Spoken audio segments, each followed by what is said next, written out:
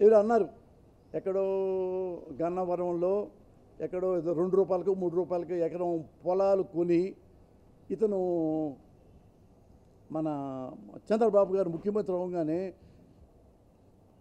ఆ పొలాలు గవర్నమెంట్ తీసుకొని ఏది దీనికి ఎయిర్పోర్ట్కి ఇక్కడ సెంట్రల్లో ఇచ్చాడంట. వంద కోట్లు రెండు వందల కోట్లు మూడు వందల కోట్లు అప్పుడు మీరు ఏమి ఇవ్వాలంటే అన్న ఉత్తమ లఫూడ్స్ అని మీరు అట్లాంటి అవార్డులు ఇస్తే బాగుంటుందన్న. ఆలోచించి ఒకసారి. అది బాగుంటుంది కదా.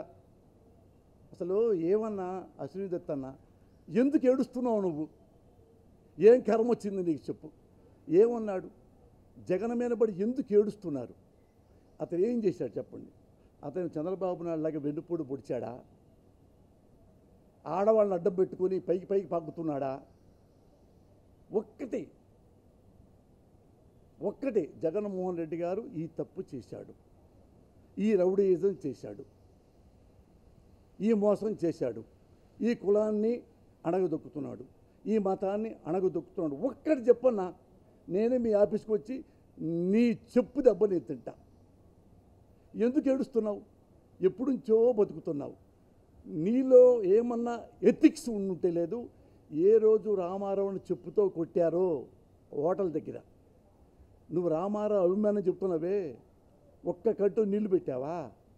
పబ్లిక్లో తిట్టావా? రామారావుని చెప్పుతో కొడతారా ఎదవల్లారా అని తిట్టుంటే నువ్వు మనిషివి. రామారావుని వెన్ను పొడి పొడిచి అది పార్టీ లాక్కున్నారే.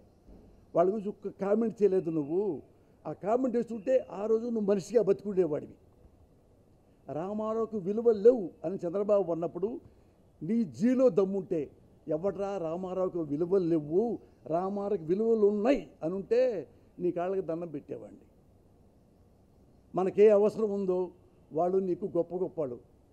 మాట్లాడుకో వాటేసుకో కాళ్ళ దండం పెట్టు. నాకు చంద్రబాబుది నాకు. మాకే అభ్యంతరం లేదు తప్పే లేదు.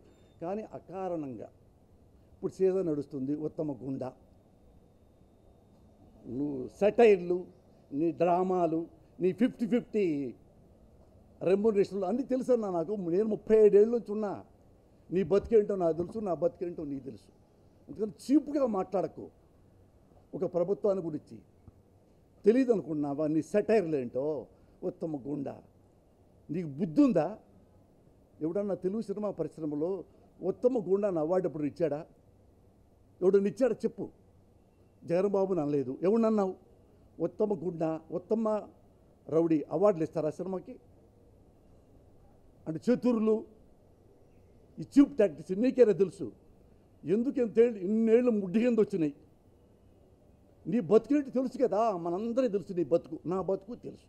కాబట్టి ఇకనైనా కొంచెమన్నా నీతితో బతుకు.